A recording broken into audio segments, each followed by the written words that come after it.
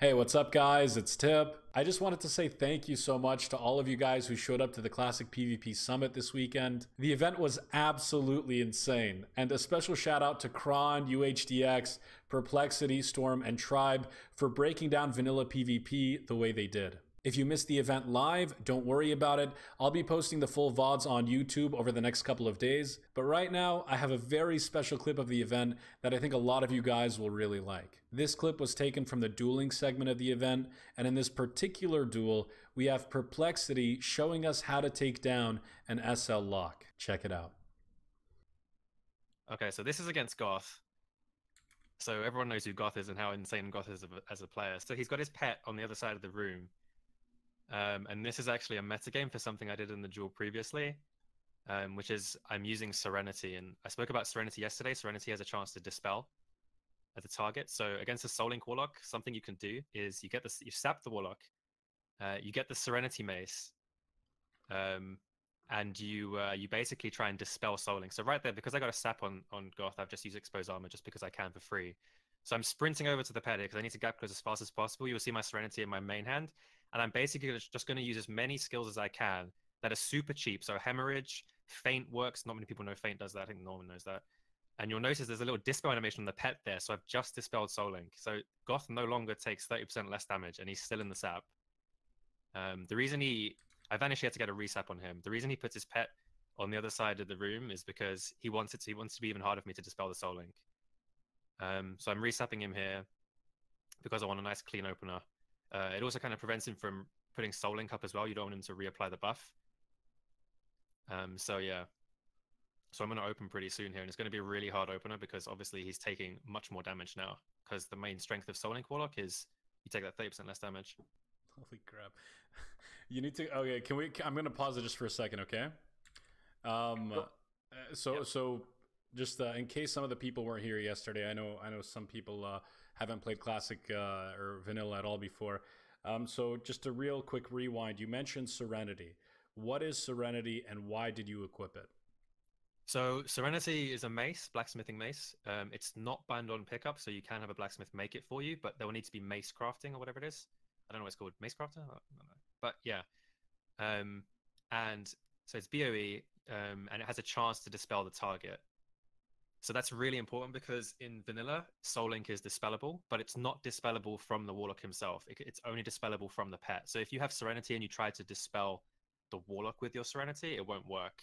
Uh, you have to dispel Soul Link from the pet. So it, it serves serves you right as a rogue to kind of sap the guy and then get to work on his pet. And the reason you use cheap abilities is because you basically want to try and proc the main hand as much as possible. So the more abilities you use in a shorter period of time is going to reward you because you have more chance of dispelling the guy. So the main reason I'm playing Hemorrhage against him isn't just because lock is really strong against Backstab Rogue, it's also because I have cheaper abilities.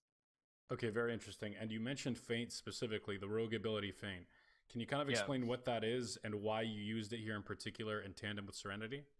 So I couldn't think of a use for Feint in PvP, and like no one uses Feint in PvP whatsoever. Um, and it turns out when you use it, I used it um, when I was dueling a priest to stack wound poisons to see if it stacked wound poisons because it was just really cheap and it put a wound poison on the guy. I was like, wow, cool, okay, this is I can use this now to proc things. Um, and I think it's like 20 energy and only on a 10 second cooldown. So if you use the feint, it won't do any damage because it's an ability that reduces threat and that's all it does.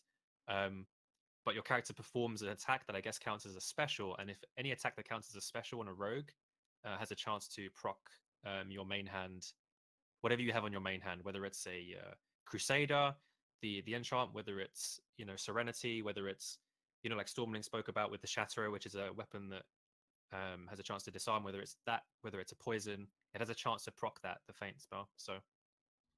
So feint, a threat reducing ability that you would think has nothing to do with combat, can actually be used to proc your abilities, whether it be Crusader buffs or, or you know, in this case, the Serenity Dispel uh, proc, or any kind of proc on a weapon, it can be used offensively as well. Pretty much, yeah. That's really really cool. Um, I just wanted to kind of highlight that because that when you told me that the first time, like my mind like just exploded. Um, but let's go ahead and continue here. You're about to open up on this lock, so I'm going to continue the clip right now. Yep. So I've just propped prep because I need my cooldowns back.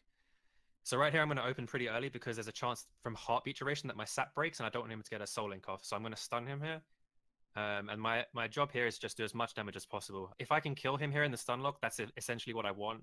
And against a lower geared warlock, you're going to pretty much do that if you dispel the soul link.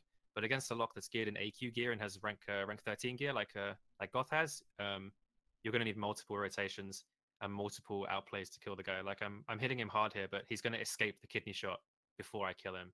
So I vanish and I summon a pet. And the reason I do that is because I want him to death coil the pet. The pet gives him an instant target, and the vanish protects me from death coil. So if he if he death coils right away, I'll vanish it. If he death coils like 200 milliseconds after I vanish, he'll coil the pet because the pet gives him an instant target. And then right here, he wants to tidal me, so I'm going to use my Shadow Reflector just as he gets out of it. If I use my Shadow Reflector before he gets out of the stun, he won't tidal me because he he does it's a waste. But if I use it just after he gets out of the stun and I, my timing's correct, then I get to use my Shadow Reflector when he tidals, and he gains nothing from the tidal.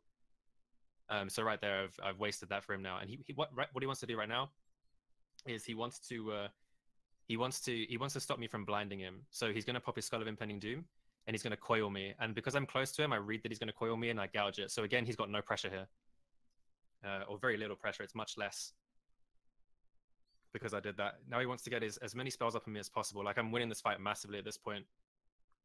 So he wants to Feldom right here. So he sacrifices his pet and he's going to Feldom. What I'm going to do is I'm going to clutch with Foresight because I'm on global, so I can't kick him. Um, and because I can't kick him, he sees that I can't kick him, so I use Clutch of Foresight to interrupt his Feldom. So he thought he was safe to Feldom, but I Clutch of Foresight, which is a, uh, an item that allows you to interrupt spells. So now he's now he's panicking. You know, he's really shitting himself now. He's using whatever he can to get as much damage off as possible, and he's just going to take a blind now because he has nothing to counter. He's got no skull. Um, I've only got one more sacrifice to deal with, um, and that's it. You know, I've I've countered Feldom, essentially. But the thing is with Feldom though is it has a duration, right? So he wants to use Feldom right here. Um, you can see it under his legs. His his feet are kind of glowing. Oh, they've stopped glowing now. So Feldom. Oh no, no, they're still glowing somewhat. Yeah, there's a little pulse from under his feet. He still has Feldom. So what I'm going to do is I'm going to bait him into using Feldom by letting him out of the blind, like I do here, and then sapping him just before he gets the pet summon from his Feldom. So this basically wastes his Feldom because now it's going to fall off and he won't have Feldom anymore. Um, and he's just gonna die now. So, yeah, uh, I think that's it. Anyway, I think that's pretty much the end. What I do is I drop combat and I swap my trinkets now to the Maelstrom trinket and the uh, Heart of Wyrmthalak, which is just damage trinkets to maximize the amount of damage I do. And they're both uh, they both deal spell damage, uh, elemental damage essentially. So I ignore any form of armor he has, so it'll do more damage. So yeah, still watching the duel here. That I mean, he's just gonna die. Like he can't do anything now. He's got no coil. He's got nothing to stop any form of CC.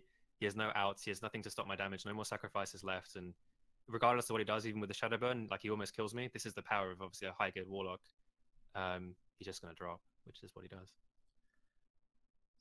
So he's dra- he's draining me because he's desperate now. He this is his, his his last option. I'm just gonna eviscerate him and kill him. So uh, you have uh, to go to like so much extent to kill a warlock. No, yeah, I'm pretty I'm pretty happy fight. with that duel. I thought I thought yeah, vanilla really PvP. Good. I thought vanilla PvP didn't require any skill at all. Oh man. Yeah, I thought so too. Dang it. I see a lot of people insist that the vanilla skill cap was low. I hope videos like this and the rest of the Classic PvP Summit helps disprove that myth once and for all. But thanks for watching the video, guys. If you liked what you saw, Sub it up and stick around because we got more coming. A special thank you to all of my Patreons who helped make the summit possible. So much time and effort went into the event behind the scenes, and I want you guys to know that without your support, I wouldn't have been able to do it. If you'd like to support awesome community events like this yourself, I've left my Patreon link in the description below for you. A final shout out to Perplexity before we go for that awesome commentary, but have a wonderful day, fellas. And as always, tips out, baby.